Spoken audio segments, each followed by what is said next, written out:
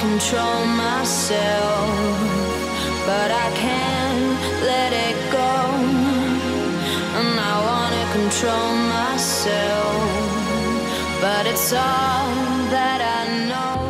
Hey my beauties, again I have another light tutorial. A month ago I showed you how to make the spring monogram marquee and I was inspired to do this without that price tag. It's insane and I'm so obsessed with gold so I decided to make this classic marquee style of lights.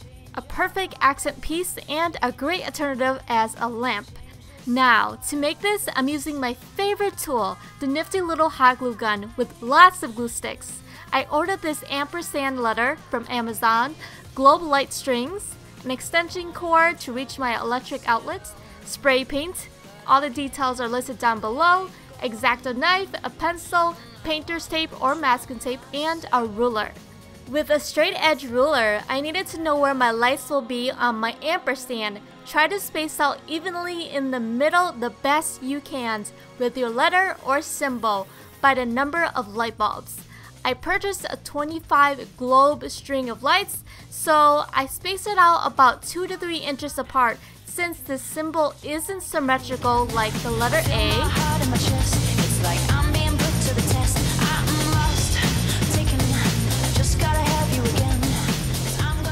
Before I added the last few dots, I double checked my work to make sure I will have a total of 25 dots all around the middle of my paper mache.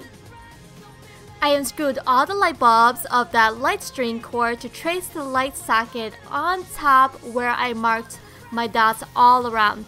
The light socket will be glued inside this paper mache, so I had to cut out the back and toss away all that cardboard stuffing. Once you did that, next you're going to flip it over and cut out the circles with an X-Acto knife. This took me a while to do because I needed to avoid cutting the hole too big or too small. Now go spray paint. I have shown you in many of my past tutorials. Once this dry, you can create stripes with painter's tape or masking tape straight across and wrap it around the back into the paper mache. I recommend pressing the tape firmly onto the paper mache to prevent the second layer of paint to bleeding into the first layer of paint. I chose gold to spray paint on top when it's completely dry.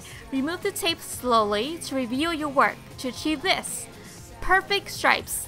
It's so pretty, I just love it so much. And when you're done, the last step is to use hot glue to glue around the top of the light socket and place it onto the hole. I held it in for a half a minute to make sure the hot glue hardens and repeat this step. I tucked the electrical cord into the paper mache with glue to keep it from sticking out in every direction. This string of lights have a short cord, so I attached this extension cord that I spray painted pink to blend into my pink wall to be less noticeable when I hung it on the wall. Now screw the light bulbs into the light socket and plug it in into an outlet to see if the lights turn up. Can't you tell I have a thing for lighting? Now it's time to see how it looks in your home. I hung mine in the back wall of my office. You could display this on a desk to lean against a wall as an option. Thank you for lighting up my life. Subscribe if you are new to my channel and add me to see what I'm up to lately. Have you seen these? And be inspired.